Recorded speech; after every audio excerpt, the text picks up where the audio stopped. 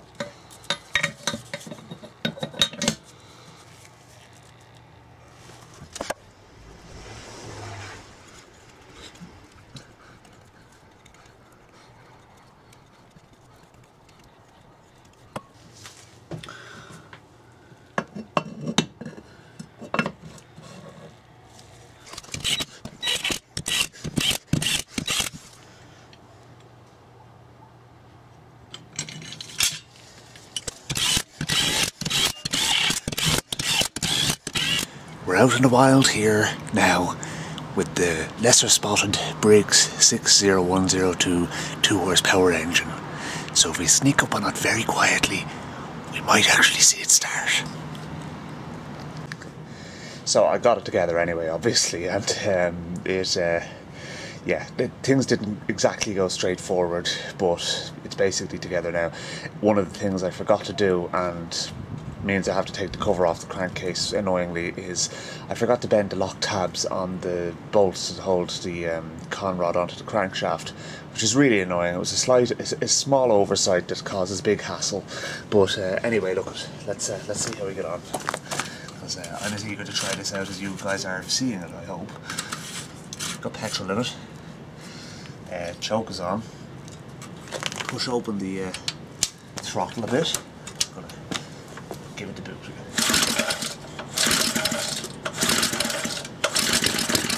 Oh, is that a cough?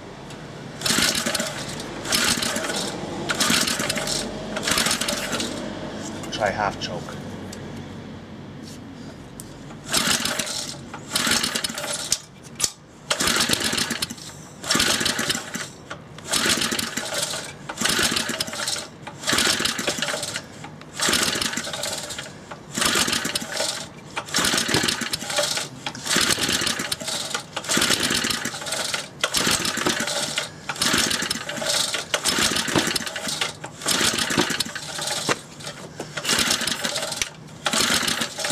That's it with no choke now, so let's see.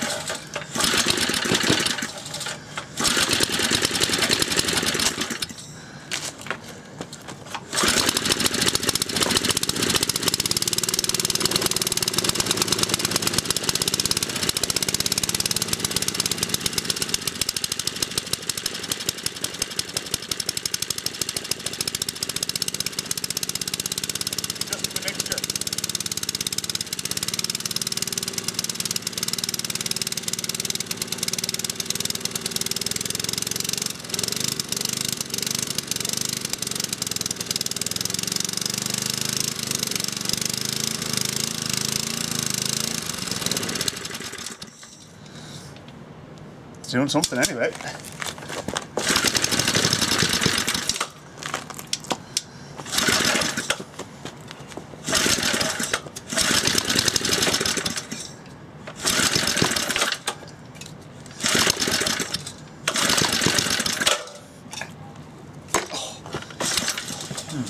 It's like it's backfiring, it's weird. I mean, you can't adjust the ignition timing on them, but...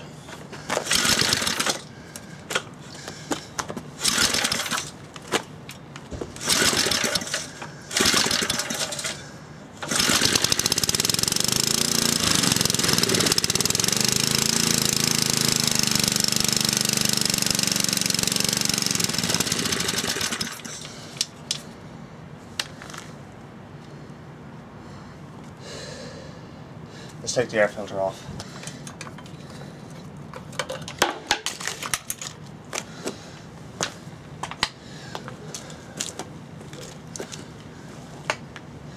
Okay, so how far out are we on the mixture screw? A turn. So we've got a turn and a half. Let's see how we get on. So I'm sure the governor is not set up right either, so we'll have to look at that too.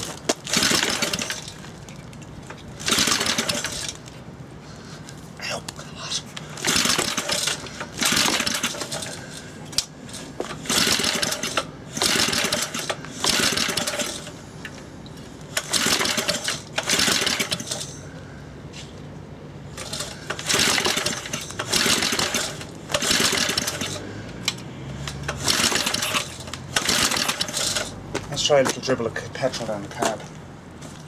Oh, that's grand. Pour petrol all over the place. That's what we need. Just add a sense of peril to it by starting a fire.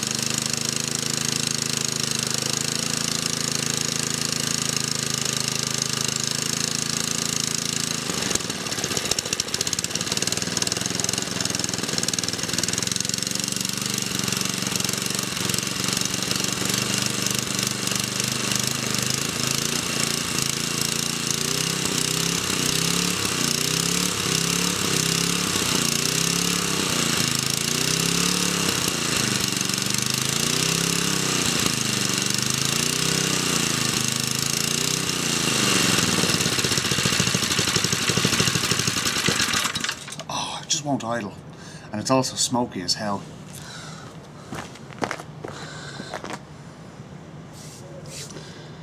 Maybe that's some gack in the exhaust, but let's try and start it again.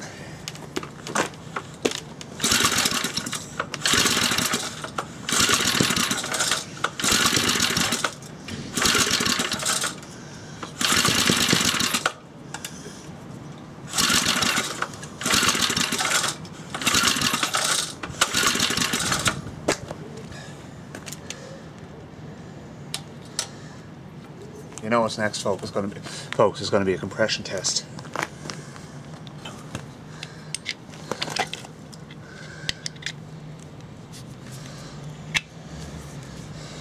All right, so let's see what we get.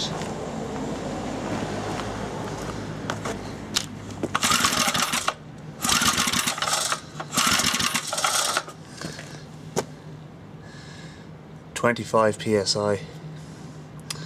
Not looking good, really, is it? Let's try that a few more times.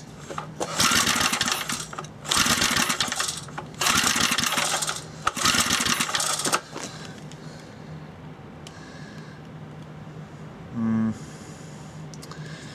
30 psi. It's way down on compression. That's a shame. The fact that it's so hard to start is obviously the reason, you know, it, the reason it's hard to start is simply because of the fact that it's so down on compression. I'd want to be seeing it up at around 90 anyway.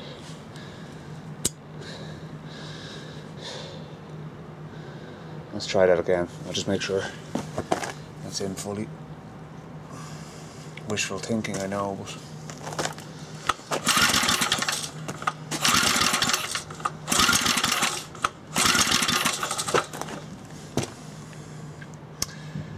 Yeah.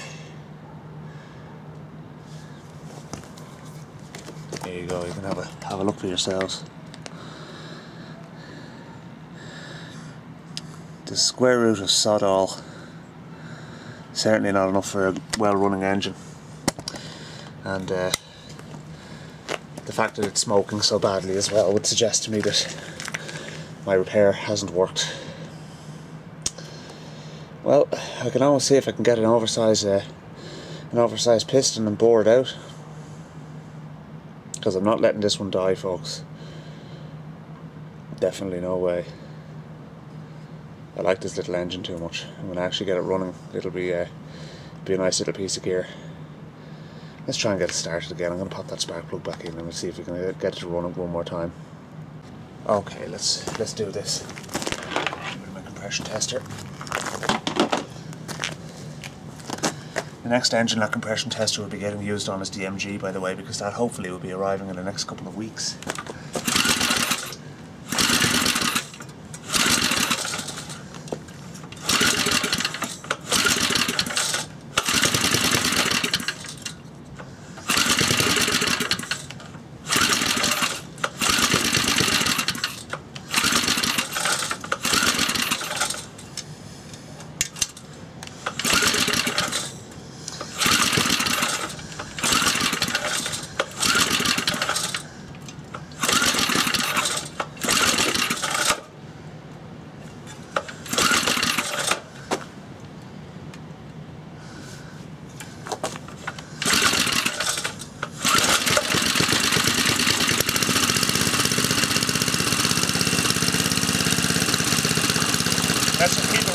While. Maybe it'll sort itself out. Again, wishful thinking, but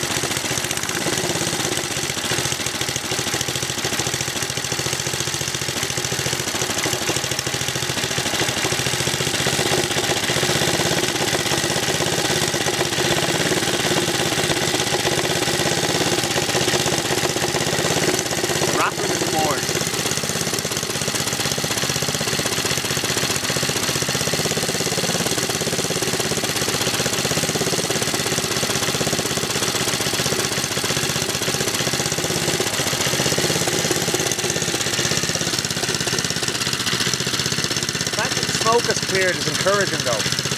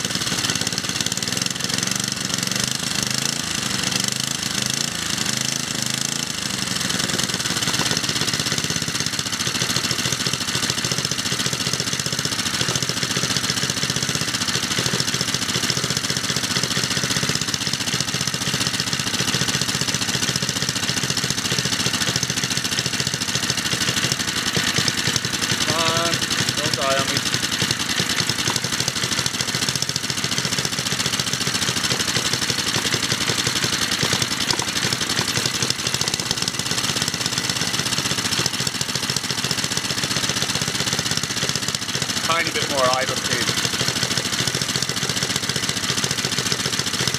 No, I'm not happy with the way it's running at all, but get a bit of life out of it before I have to strip it down again.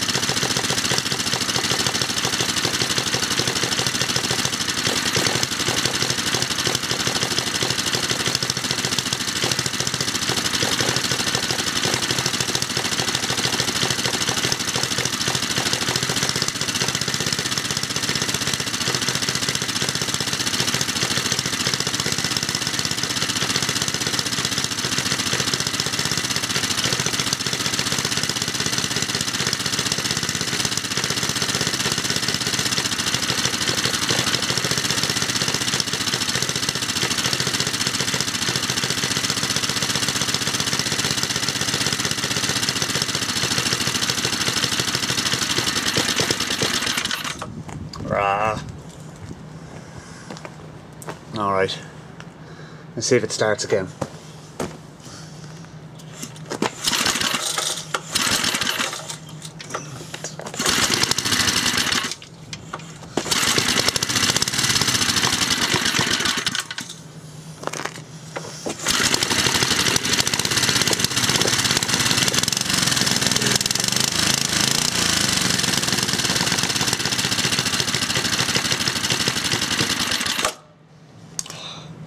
See what I mean? It's like it's backfiring. It's after grabbing hold of the pull cord there now.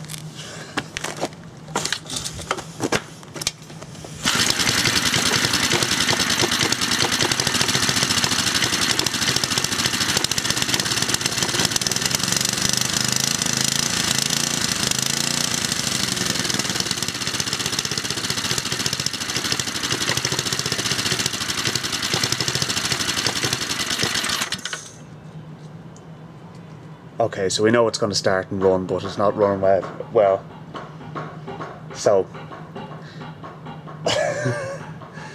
that's the little man banging on the window. So I think that's my cue to go back inside, folks. But um, yeah, look. Does it run? Yes, but badly. Am I happy? No, not especially. So this is going to be one we're going to pick up again in future videos because I want to get that engine right. So uh, anyway, look, you're going to have to wait for that one because I have other projects on the go. So look, thanks for watching, folks.